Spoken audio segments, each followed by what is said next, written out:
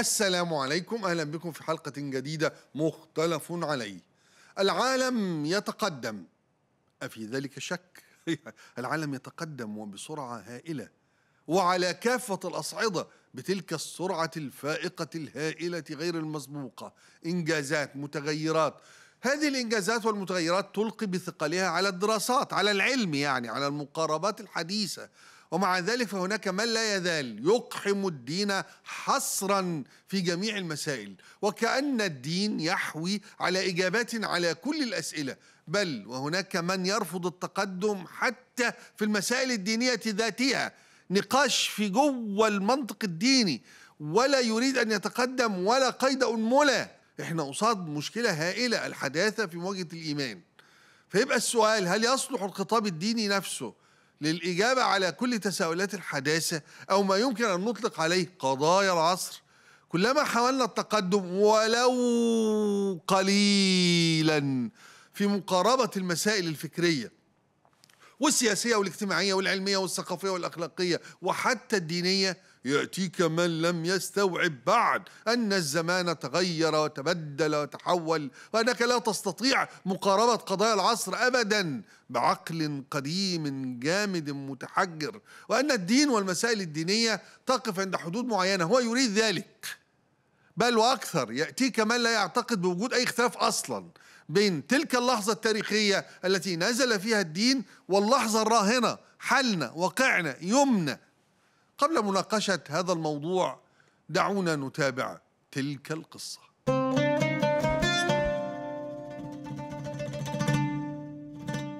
عندما يقلل أحد أو ينتقص من الإسهام الإسلامي في الحضارة الإنسانية فورا بنستدعي ابن سينا ابن رشد الفارابي الخوارزمي وغيرهم من العلماء اللي فعلا إسهاماتهم غيرت شكل البشرية للأفضل.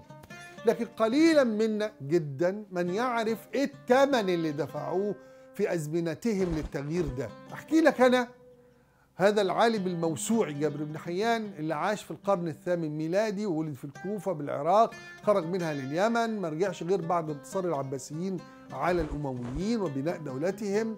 درس وأسهم في علوم كثيرة مثل الكونيات الطب الموسيقى الهندسة ما وراء الطبيعة لكنه نبغ في الكيمياء واشتهر بإنجازاته العلمية في مجال الكيمياء وما وضع خلاله من أسس للبحث العلمي في ميدان ومجال الكيمياء. لا يزال كثير من العلماء يسيرون على خطوطه وعلى خطوه وعلى خطواته حتى يومنا هذا.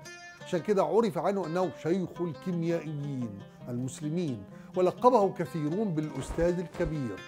أبو الكيمياء خصوصا بعد اختراعه ورقا لا تحرقه النار. تخيلوا حضراتكم أن يكون علم هذا الرجل الذي تستند دراسات كثيرة محليا وعالميا إلى منجزاته سبب تدميره وتكفيره. كان حجة ابن تيمية ومن تبعه من شيوخ الدين وهم كثر أنه يقولوا أن ما يقوم به جابر بن حيان مشابه لعملية الخلق. باعتبار إن ما يصنعه من منتجات هو مضاهاه لخلق الله وبالتالي فهو محرم. كانوا بيتعاملوا مع جابر بن حيان والكيمياء وعلوم الكيمياء منها سحر وشعوذة وخلق يعني ينافس خلق الله.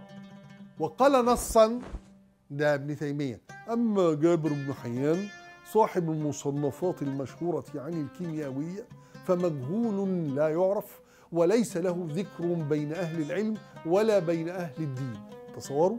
ده الوصف اللي اتقال عن الرجل اللي لحد النهارده بيذكره العالم بكل إجلال لدرجة أن العالم الكيميائي الفرنسي مارسيليان برتلو قال في كتابه كيمياء القرون الوسطى قال إن لجابر بن حيان في الكيمياء ما لأرسطو في المنطق. مؤسس! مؤسس!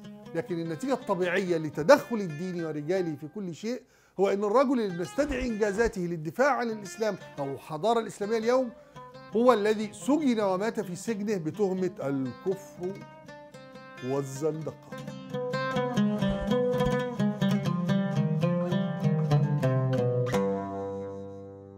إذا أرحب بضيفي الكاتب والباحث المصري الأستاذ رامي شفيق، أهلا بك فندم منورنا. أهلا بحضرتك أستاذ إبراهيم وإحنا بنتكلم على الدراسات الإسلامية وقضايا العصر.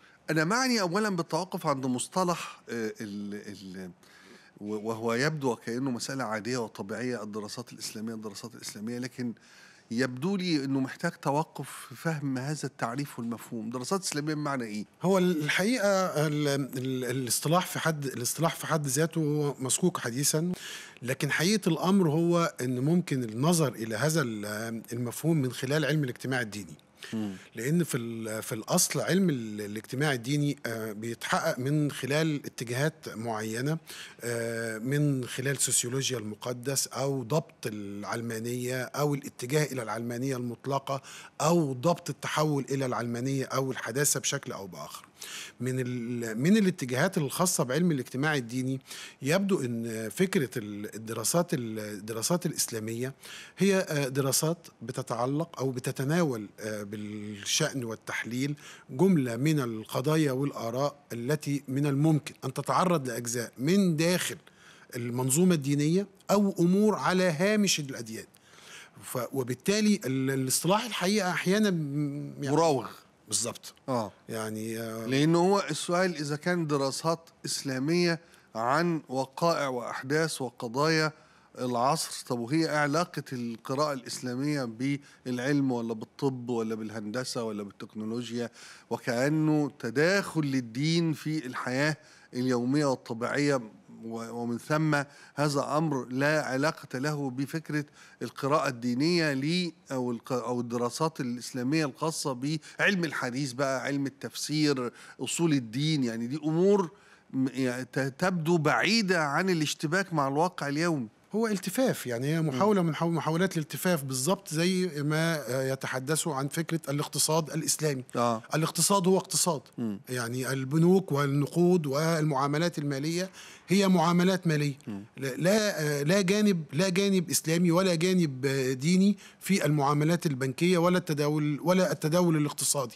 آه الإعجاز العلمي أو فكرة الطب النبوي آه. أو ما إلى ذلك كل ذلك أمور آه تخصم بشكل أو آه، بآخر من قيمة الدين وقدرته على آه، التحقق من خلال آه، إيجاد بيئة سلوكية وقيمية هو المعني بها الدين بشكل كامل. ممتاز معنى كده أستاذ رامي إن أنا لما اتكلم عن الدراسات الإسلامية وكأني أقبل بهذا التداخل مع الحياة اليومية والمعاصرة والواقعية بأفكار الدين يعني وكأني أقبل مبدئيا بالتدخل الدين في الحياة اليومية بدليل أن هناك دراسات آه، من منطلق ديني للاقتصاد اللي آه، يعني لا شأن له بالدين لعلم الاجتماع الذي لا شأن له بالدين بفهم الدين أو بأمور الدين أو بقواعد الدين أو بأصول الدين اللي هو في إطار إنه دين.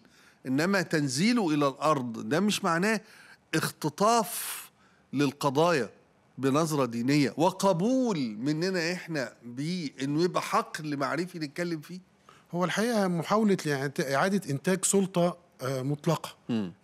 إذا كان من خلال بعض رجال الدين أو كل رجال الدين أو آه، سلطة باسم الأديان آه، بأنها تنتج واقع مختلف في الحياة.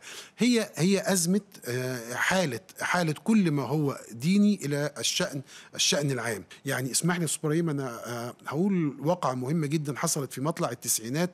اجتمع الراحل الدكتور نصر حامد أبو زيد والدكتور جابر عصفور مع الأب متى المسكين. والأب متى المسكين طرح سؤال في منتهى الأهمية على الاثنين يعني. قال لهم لماذا ومتى أغلق باب الاجتهاد في الإسلام؟ الرجل طرح من موقعه ومن الدير ما نتحدث عنه الآن بعد هذه آه، العقود.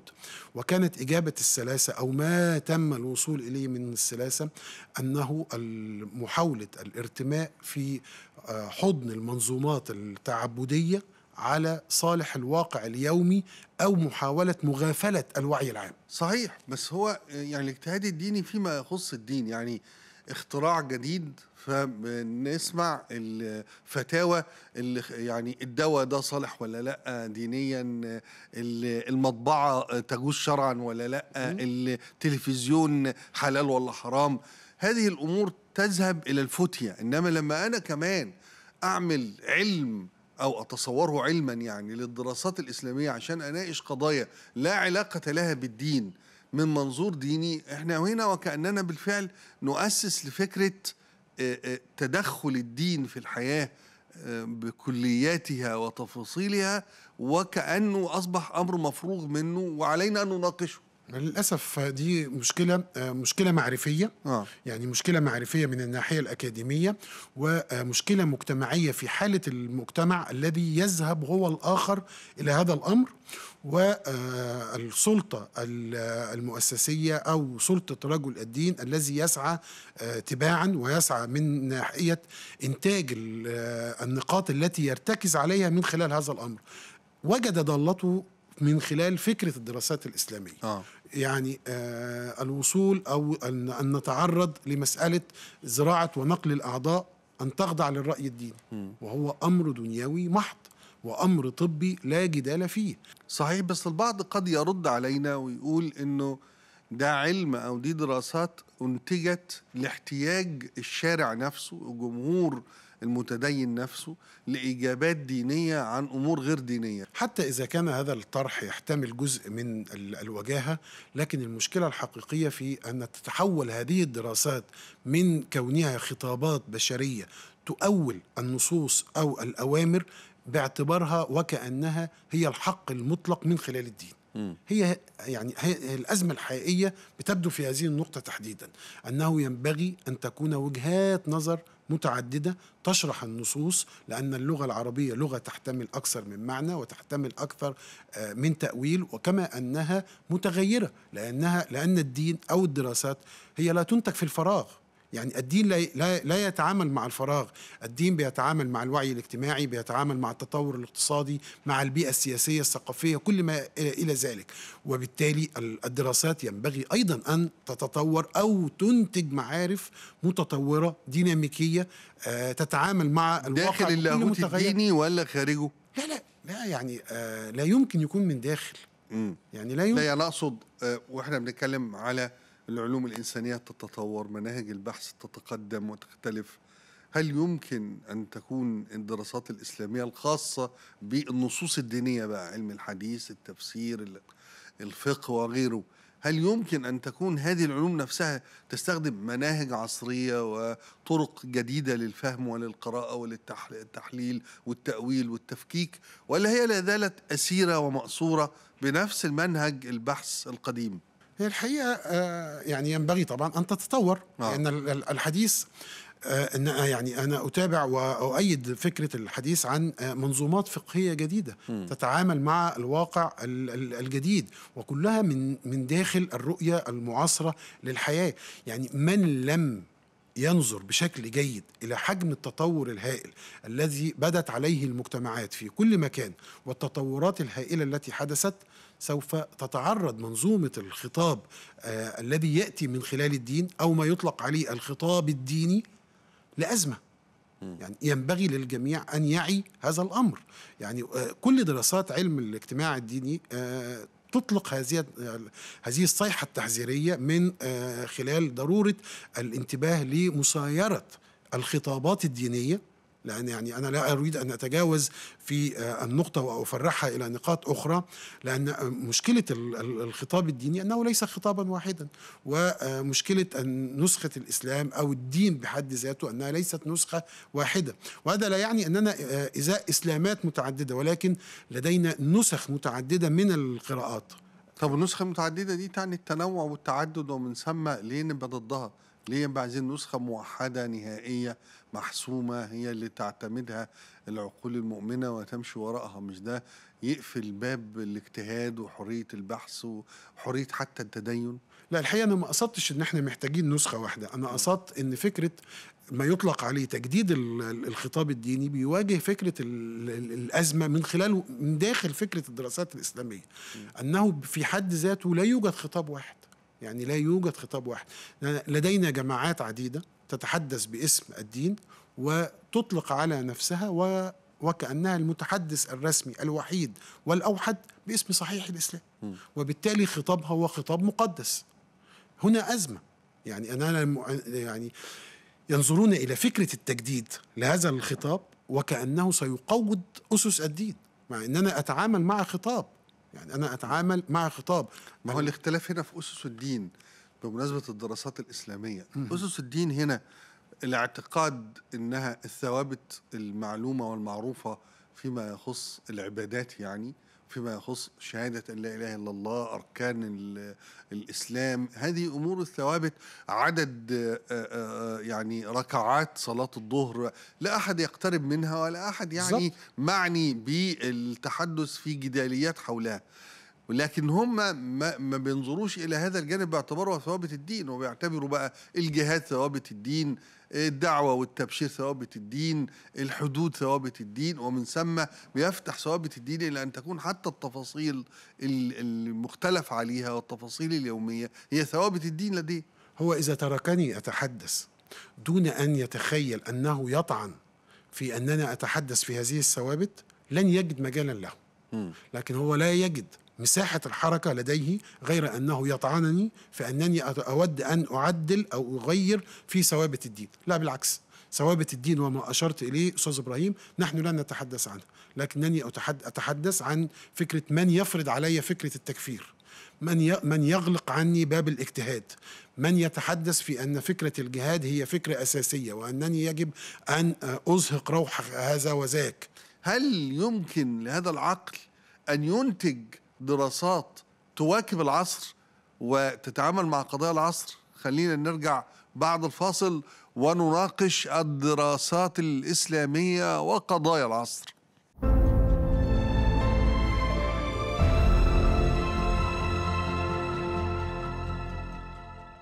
إذا عدنا مختلف عليه. إذا ما أبرز المواضيع والقضايا والمسائل ال- التي يتناولها طلاب المعاهد الدينية في هذا الواقع في العصر الحالي؟ تعالوا نتابع هذا النموذج ثم نعود.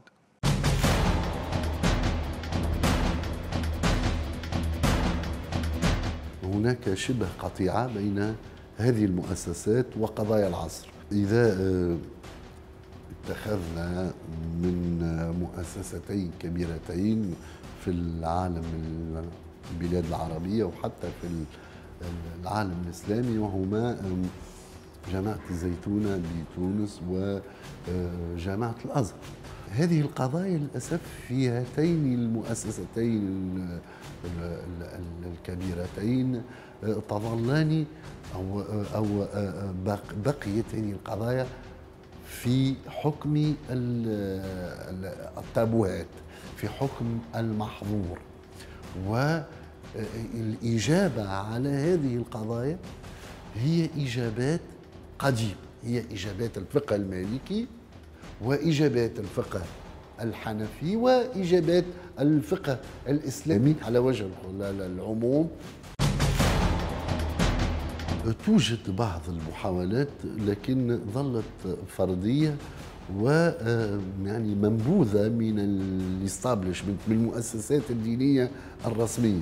مثلا أذكر فيما أذكر آه، بعض آه، كتب وبحوث جمال البنا. وقد حاول فيها أن يسير الحداثة ويسير مقتضيات العصر. مثلا له كتاب حول نفي النسخ لا نسخ في القرآن. له كتاب حول آه، الردة يعني ووقف ضد هذه المقولة. هذه المحاولات آه، لا آه، تجد جمهورا عريضا أولا ولا تجد يعني قبولا في الأوساط ال- ال- في الأوساط المؤسسات الدينية الرسمية. لابد في ال- ال- الفكر الإسلامي أن آه، تقوم ثوره جذرية يقع معها التصالح مع العصر وعلومه وإنجازاته. هذه القضايا لم تعد تجعز تزعج عفوا ال- الكنيسة في العالم الغربي. فلا بد من أن يستوعبها الفكر الإسلامي أو على الأقل يتصالح معها. أجدد الترحيب إذا بالأستاذ رامي شفيق كاتبنا وباحثنا وينضم إلينا من المغرب الباحث في الفلسفة الدكتور محمد زكاري. أهلا بك يا دكتور من الدار البيضاء إلى الدار البيضاء تحية طيبة وبيضاء. أهلا وسهلا أستاذ إبراهيم شكرا جزيلا على هذه الاستضافة الكريمة. تبدو كلمة المعاصرة كلمة الحداثة هذا المصطلح يبدو وكأنه غريب مع الدراسات الإسلامية لأنه الموقف آه، آه، آه، الإسلاميين من الحداثة والمعاصرة وكأنه هناك صراع فرض يعني إرادات على الواقع باسم الدين. هل وإحنا بنقرأ هذا الواقع دكتور محمد زكاري نعتقد أنه يمكن للدراسات الإسلامية عموما سواء في الشأن الديني أو في الشأن الحياتي تكون مواكبة للعصر مؤمنة بما يمكن أن يعرف بالحداثة؟ يعني آه، والله في اعتقادي المشكلة الأساسية التي يمكن أن ننطلق منها في إطار هذا النقاش وهو قضية صراع المفاهيم. آه، هناك صراع على المفاهيم بشكل أكثر حدة اليوم من ذي قبل. فمفهوم الحداثة في حد ذاته يمكن أن نرجع إليه وإلى آه، أصوله ومنشئه في الفكر الغربي نفسه. فالحداثة باعتبارها حركة فكرية وثقافية نشأت في أوروبا الغربية في القرنين السابع عشر والثامن عشر. اهتمت بشكل كبير بالتركيز على مفاهيم أساسية كالعقل والعلمانية والنقد والحرية والفردانية وكل هذه المفاهيم يعني عملت بشكل كبير على تطويرها وعلى التركيز على أهميتها بالنسبة إلى المجتمع. لكن وكما تعلم نحن في العالم العربي كانت الحداثة بالنسبة إلينا آه، بمثابة صدمة تاريخية عاشها الوجدان والعقل العربي. فيرجح أن التاريخ لصدمة الحداثة كانت في أعقاب الحملة التي شنها نابليون بونابرت على مصر. فهنا بطبيعة الحال حينما نقول بأن الحداثة كانت بالنسبة للمجتمعات الأوروبية اختيارا ذاتيا وتاريخيا وكانت بالنسبة للمجتمعات العربية الإسلامية بمثابة قوة فرضت من خارج فرضت بشكل ضاغط في إطار أزمة التحديث التي حدثت في جميع القطاعات وجميع المجالات. هنا يقع الصراع حول مفهوم الحداثة في حد ذاته. إذا هناك حداثة حداثة هي الحداثة التي نشأت في الغرب نشأت في الوعي نشأت في الفلسفة وفي الفكر وفي ميادين الفن.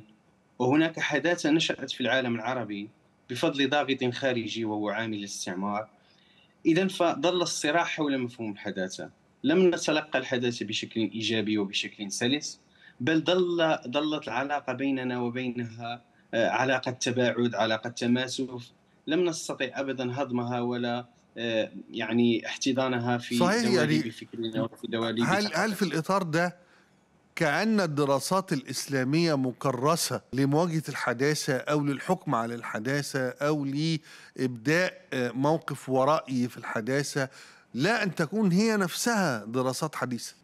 بالنسبة للدراسات الإسلامية يجب أن نفهم قضية وهي أن أنها نشأت بالانطلاق من الدراسات التي خرجت في أحضان الحداثة نفسها الحداثة الغربية نفسها. لأن الدراسات الإسلامية أول ما ابتدأت ابتدأت في حضن يعني حضن هو الحضن الثقافي الغربي مع حملات الاستشراق التي همت بالترجمه أو عفوا همت بتحقيق المخطوطات همت بدراسة تلك المخطوطات. ونحن في في تلك المرحلة لم لم نكن نملك الوسائل التي تمكننا من اقتحام التراث. يعني لو عدت إلى الكتابات المعروفة بالنسبة للمؤسسات الدينية الكبرى مثل الأزهر أو هنا يعني بالمغرب القرويين أو عدت إلى جميع يعني المراكز الدينية في العالم العربي ستجد أنها تعتمد على نصوص يعني معينة ومحددة. لكن بفضل حملة الاستشراق بفضل ما ما ما يعني ما نلناه منها من من من أدوات معرفية استطعنا اقتحام التراث. وهكذا يمكن أن نقول إن الدراسات الإسلامية نفسها بما أتيح لها من مواد بما أتيح لها من كتابات بما أتيح لها من اقتحام لصورات هي آه، في الأصل استمدت كثير من هذه المعطيات من المستشرقين أنفسهم. لكن كما تعلم يعني في في في ظل هذا الصدمة التي نعيشها وجدانيا فنحن دائما ما نميل إلى رفض هذا الآخر بالرغم مما حققه بالنسبة إلينا وإلى صورتنا ويكفيك أن تعود إلى الكتابات الأولى والمطابع الأولى التي تم تحقيقها. ستجد عليها أسماء المستشرقين وكانت له بطبيعة الحال يعني استضافات طويلة ودراسات طويلة هنا آه، في العالم العربي في مصر هنا في المغرب وكذلك في العالم العربي بأسره. عمروا طويلا ودرسوا هنا بالجامعات لكن في جو الصدمة العام وفي إطار ما سيسمى لاحقا بأسلمة المعرفة آه، وهذه آه، بطبيعة الحال حركة يمكن أن نناقشها بشيء من الاستفاضة صحيح من الضروري أن نناقشها لكن هو نعم. السؤال هنا عايز آه،. يعني أوجهه للأستاذ رامي إيه. اللي طرحه الدكتور محمد زكاري فيما يخص انه الحداثة أضافت للدراسات الإسلامية وأن الدراسات الإسلامية استفادت من جهد المستشرقين ومن غيره هل ده يعني يجوز إطلاقه على المؤسسات الدينية التعليمية؟ المشكلة يا أستاذ إبراهيم بتحطنا في كذا نقطة في حديث حضرتك. اولا فيما يختص بفكرة التعليم الديني ومدى حاجته أو أو ضر أو ضرورته دي نقطة. النقطة النقطة الثانية الثنائية اللي موجودة أو اللي بتصاحب فكرة دراسات الحداثة. يا إما هو الارتماء إلى الغرب بشكل كامل أو الاتكاء على الماضي والبعد الديني والاعتبار أن الدين هو الأصل في كل شيء وهو الذي تستطيع من خلاله أن تقدم كل شيء. هذه الثنائية يعني المزعجة إلى أقصى درجة ممكنة.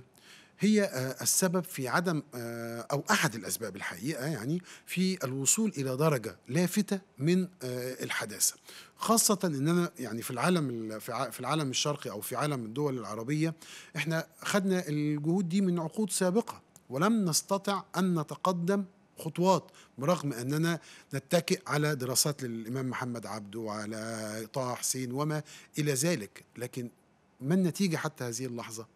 آه بس الدراسات طه حسين كتابات محمد عبده مهجورة تقريبا في المؤسسات الدينية والمعاهد التعليمية. وده يخليني أروح أستاذ محمد زكري بسؤالي مرة أخرى فيما يخص اسلمه المعرفة.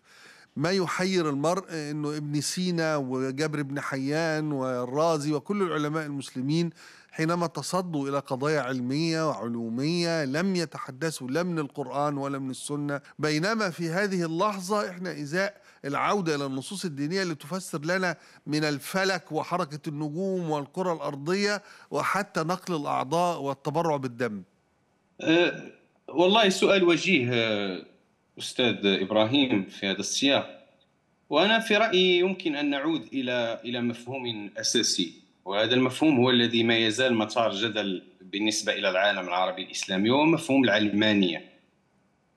يعني لو أخذنا هذا المفهوم بطبيعة الحال على أساس أنه انتماء كل شيء إلى العالم بما فيها السياسة بما فيها العلم بما فيها كل شيء يعني كل شيء ينتمي إلى هذا العالم لكنا أكثر دقة في تناولنا لهذه المفاهيم. فالعلم ينتمي إلى العالم ولا ينتمي إلى أي مجال آخر.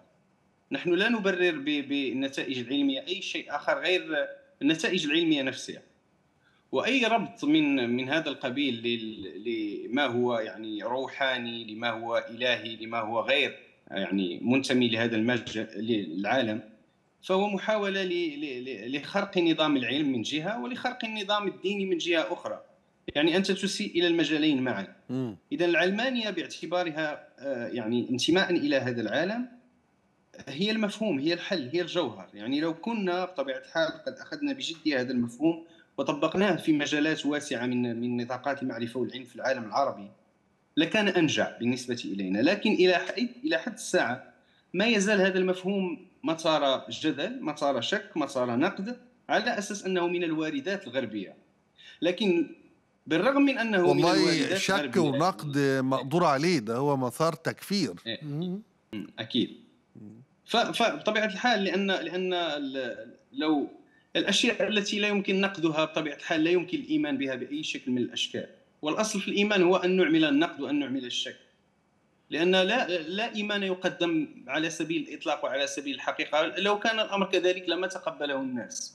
بدليل بحثنا الأستاذ محمد زكاري إنه دكتور طه حسين عندما استخدم وهو كان واضحا في في الشعر الجاهلي من اللحظة الأولى من السطر الأول في الكتاب إنه بيستخدم نظرية ديكارت في الشك وإنه سيطبق الشك الديكارتي على الدراسة دي. حتى الآن هناك هذا الهجوم المروع على الكتاب اللي استخدم آه، آه، آه، قضايا العصر آه، منهج بحثي عصري لفهم ال- آه، القضية الدينية أو حتى القضية اللغوية. أكيد. ف- فبطبيعة الحال هنا الخوف من الشك لماذا نخاف من الشك؟ ففي إطار هذا المنظ... هذه المنظومة التي تقدمها يعني نموذجية اسلم أسلمت المعرفة في هذا السياق هي محاولة ل... لل... لمزيد من الانغلاق. نحن نحاول أن نزيد من انغلاقنا على أنفسنا وأن نقول يعني أن نقول بالحرف اننا أفضل من الجميع. قلت هناك دراسات إسلامية هنا في العالم العربي لكن بالموازاة منها هناك دراسات إسلامية قائمة بذاتها في العالم الغربي وهي ربما أكثر تقدما مما طيب نعيشه اليوم. هنناقش النقطه لو- دي تفصيلا؟ لكن مم. فيما يخص أسلمة العلوم يبدو إن البعض مم. رأيه إنه ده سبب تيار الإسلام السياسي. أحد أسبابه الرئيسية في محاولة السيطرة والهيمنة على المجتمع كل ما هو علمي كل ما هو حداثي يوصف بجواره التعبير الإسلامي. ونبدأ نبحث في كتبنا عما يعني يجعله علما اسلاميا. وزي ما قال الأستاذ محمد وكأنكم لم تتقدموا ولم تطوا- تطوروا أيها العالم الغربي إحنا عندنا كل حاجة. إلى أي حد إحنا في هذه الدائرة سوف نخرج منها متى؟ أستاذ إبراهيم آه، الجزء ال- ال- الأخير اللي كان بيتكلم فيه الأستاذ محمد زكاري ربما هي يرتبط بشكل كبير جدا بالجزء الأول اللي كنت بتكلم مع حضرتك فيه في اتجاهات علم الاجتماع الديني. آه. اللي هو آه، الوصول إلى درجة من درجات التخوف من تقويض الدين. مم. هذا الأمر أو هذا الفزع غير المبرر في تقديري على الأقل آه، يعود إلى عدة آه، أسباب ومبررات يعني. آه لكن هو عموما حالة دفاعية من اللحظة الأولى. طبعا. حالة دفاعية. حالة- أرجع للأسباب والتفسير بعد شوية لكن خليني يعني آه، أشكر آه، كاتبنا وباحثنا الأستاذ محمد زكاري من الدار البيضاء ونستمر معا في حوارنا مع الأستاذ رامي شفيق. مع الإجابة عن سؤال مهم طرحناه أيضا وهو إذا كانت كل العقول المتحكمة والمسيطرة والمهيمنة على المؤسسات الدينية التعليمية أو حتى على الجماعات الدينية والتنظيمات الدينية عقول على هذه الدرجة من التحجر أو التصلب الديني. هل يمكن أن تكون متصالحة مع قضايا العصر وتناقش قضايا العصر؟ يبقى السؤال وتبقى الإجابة التالية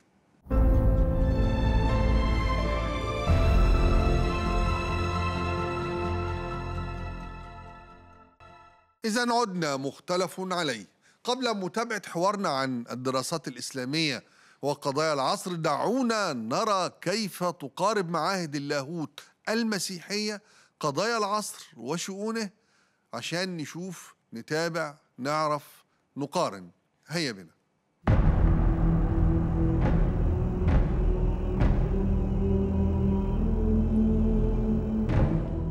بالنسبة للنواحي التي نجد فيها أن الكنيسة ليست جامدة بل هي تتحرك وتواكب الأبحاث والدراسات العلمية والأدبية أيضا آه، وأيضا تواكب فيها التغيرات المجتمعية.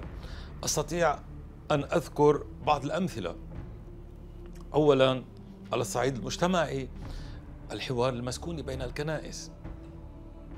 هذا ما لم يكن واردا من قبل. الكنيسة عندما كانت تدرس دراسة اللاهوت في السابق تكتفي بقراءة وحفظ العقائد والمسلمات والقوانين. أصبحت اليوم بعد تطور الدراسات تعتمد التحليل النقدي. هذا تطور. أيضا. آه، أضف إلى ذلك أن الكنيسة اليوم تأخذ بعين الاعتبار كثيرا من الأبحاث العلمية عن الكون وعن الإنسان وعن آه، بصمات الخالق أيضا التي تظهر في الدراسات العلمية. التهمة التي تلصق أحيانا في كنيسة الشرق الأمينة للرسالة الأمينة للتسليم الرسولي. تلصق بها أن دائما هي متحجرة. لماذا؟ لانها لا تقبل بمجتمع الميم. لانها لا تقبل اجهاض هذه التهمة لا تأخذ بعين الاعتبار. كثير من الأمور التي تتغير وينظر إليها نظرة أخرى مختلفة وتثمن الإيجابيات فيها. يعني على سبيل المثال نحن هل يمكن أن نقبل بما يسمى مجتمع الميم LGBT الذي يتيح لابن 13 سنة أن يأخذ هرمونات لتغيير جنسه. هذه مواضيع الكنيسة لن تواكب ما هو ظرفي ما هو آه، آه، ما يصدر عن انحراف في سلوك المجتمعات.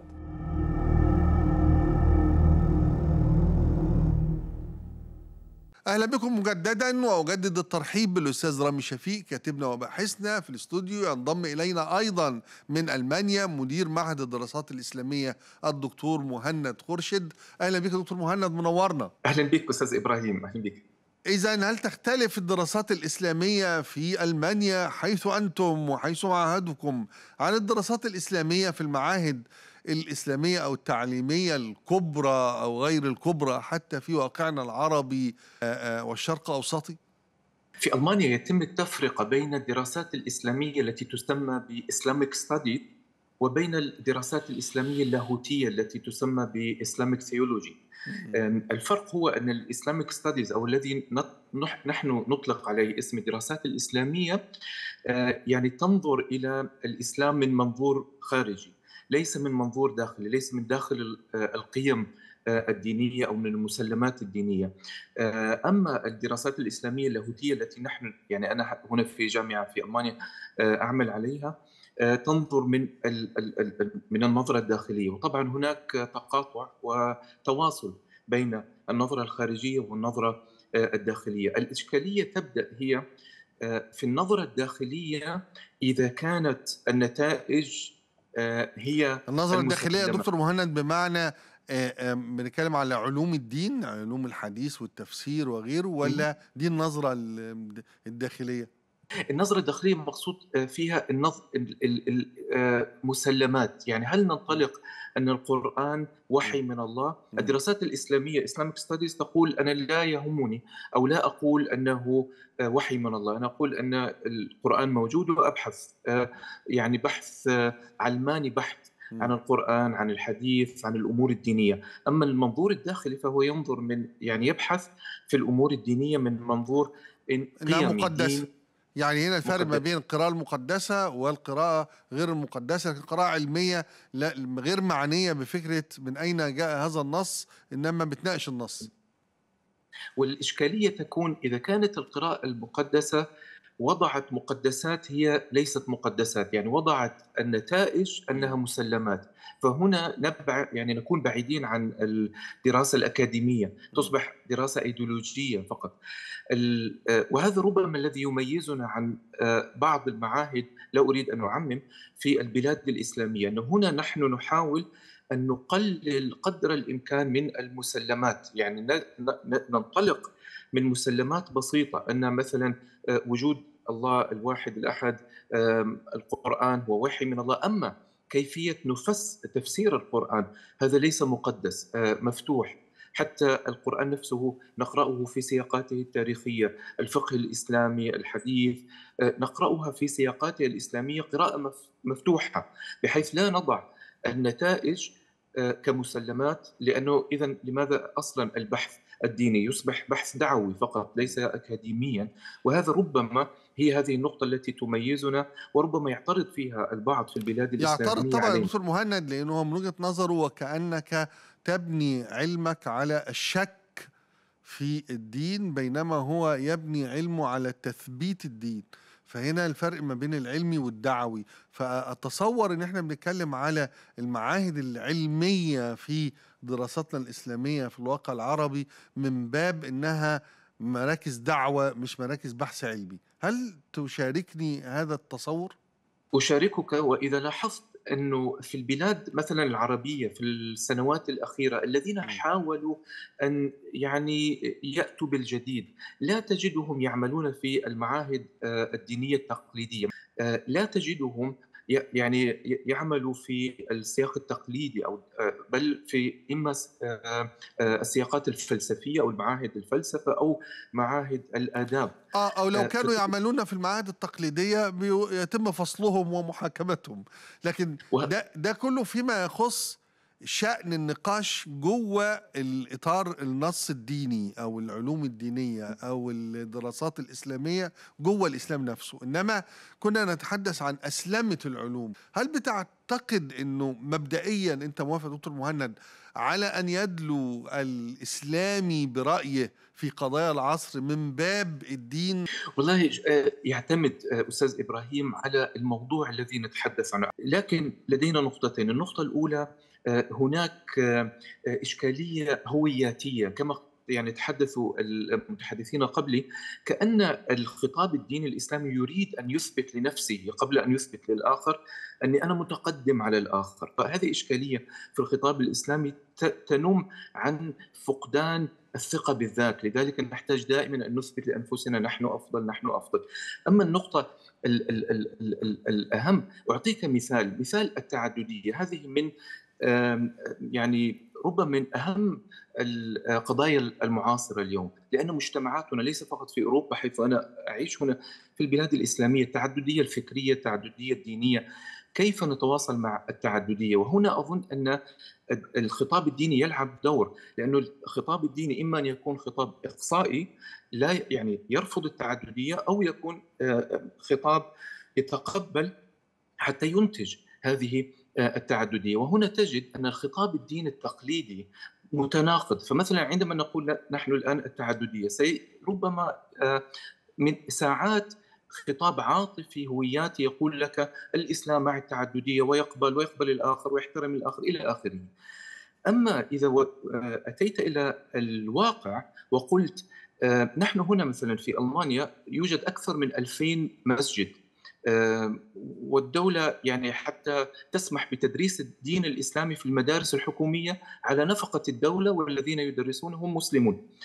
تصور الآن لو قلنا تمام نحن آه، لدينا التعدد في الإسلام آه، ما بال بناء الكنائس في البلاد الإسلامية؟ ما بال تدريس الدين المسيحي مثلا أو البوذي أو آه، غيره في البلاد الإسلامية؟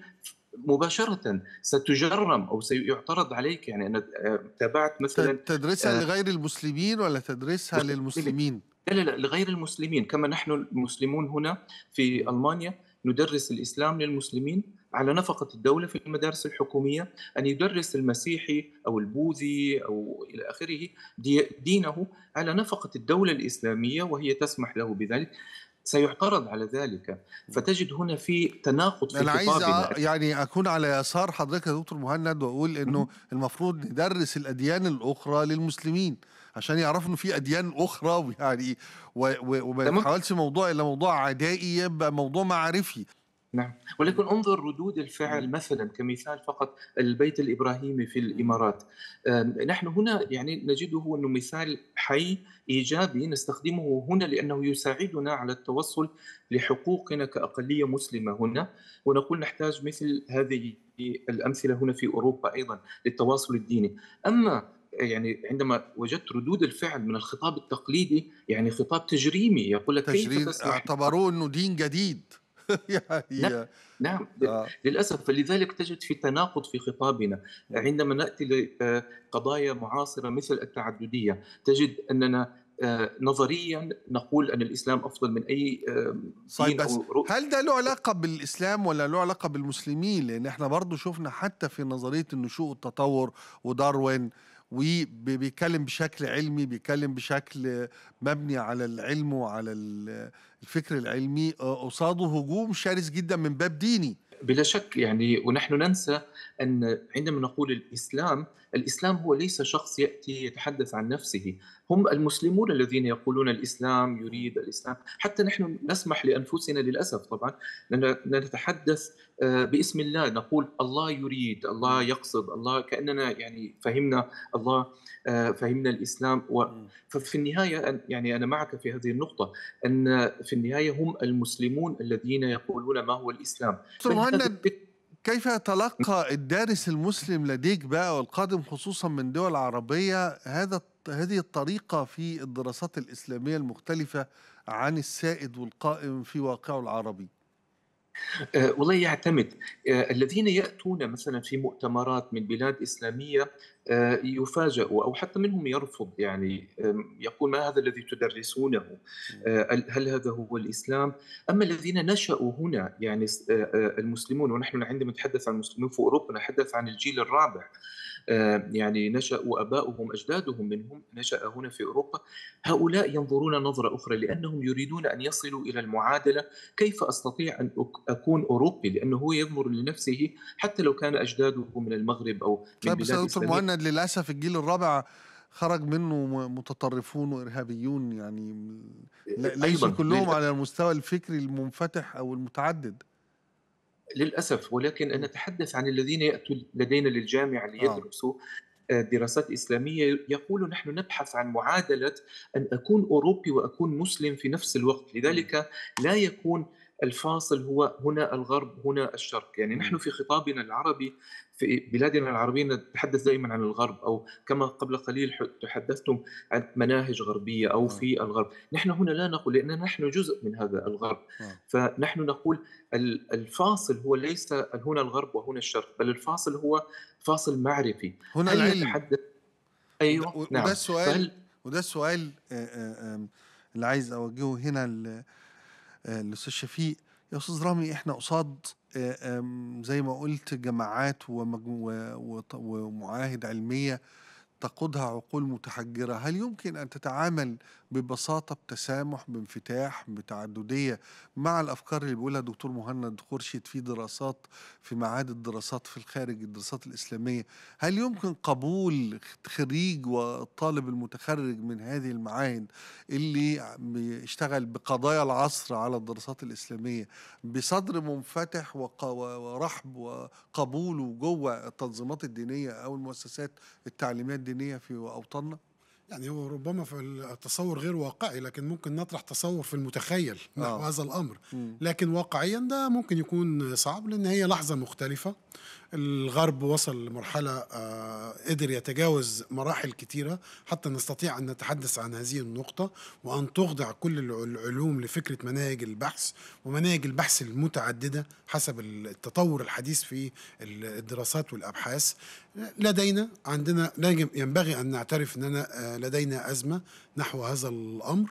آه، واقعيا صعب جدا ان ده يتم لكن أنا أتمنى إن لحظة تطور ما اجتماعية واقتصادية وسياسية وتطور تاريخي ما نصل فيه إلى هذه اللحظة وأن نصل إلى آه، عمق الحقيقة وأن نكتشفها أو حتى الحقائق لأن لا يوجد حقيقة واحدة. صحيح دكتور مهند هل تعتقد أنه سوف يأتي اليوم التي تدرس فيه أو الذي تدرس فيه مؤسساتنا الدينية الرسمية الدراسات الإسلامية على الطريقة الألمانية؟ قبل آه، عشر سنوات أو 11 سنة عندما افتتحنا هنا معهدنا في الجامعة آه، كانت هناك كلمة للدكتور محمد عزب رحمه الله توفى هو كان مستشارا لشيخ الأزهر وحضر في الافتتاح وقال جملة بقيت في ذهني لأنها قالها وكررها أكثر من مرة ولكن قال لذلك هو توفي يعني رحمه الله لذلك أستطيع أن أقولها ولولا ذلك لما قلتها لأنه قال أنا أقول لكم ولكن هذا كلام لا أستطيع أن أقوله في بلدي ولكن. أقول لكم أنا آه، أتوقع أن يأتي تجديد وتغيير منكم أنتم هنا في ألمانيا في أوروبا أكثر من بلادنا لأنكم لديكم الحرية حرية التعبير حرية التفكير آه، بسبب فصل الدين آه، إعطاؤه حرية عن السياق السياسي والسي- والسياقات خلينا الأخرى. خلينا نشارك الراحل محمد عزب بقى بس نعلنها هذه المرة ب- هنا في أوطاننا وليس في ألمانيا. نتمنى أن تكون هذه بوابات التغيير نعم. والتجديد وتعامل الدراسات الإسلامية مع قضايا العصر. أشكرك جدا دكتور مهند خورشيد. أشكرك جدا أستاذ رامي شفيق. وإلى الخلاصة.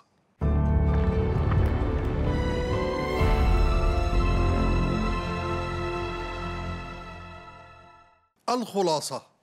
الخلاصة إن العقل اللي عايش على عن عن عن عن عن عن كل دراساتهم كل شغلهم كل أفكارهم كل رؤاهم عن العنعنة عن فلان عن فلان عن فلان أو انه الكتب الإسلامية أو المتخصصة في العلم الديني كما يقولون قائمة على إنه كتاب قديم هو يسمونه المتن بقى ويكتب عنه شرح للكتاب القديم. ثم بعد الشرح يحصل حاشية على الشرح وتلاقي كتب حاشية على شرح متن كتاب كذا. يعني الكتاب نفسه عبارة عن حاشية عن هامش. عن حواشي.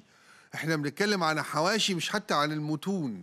هذه العقلية لا يمكن بأي حال من الأحوال أن تعترف بأنها في قاع العلم بل هي تعتقد أنها تجلس على قمة العلم تضع قدما على قدم بل وربما ترمي الحذاء والنعل في وجهنا.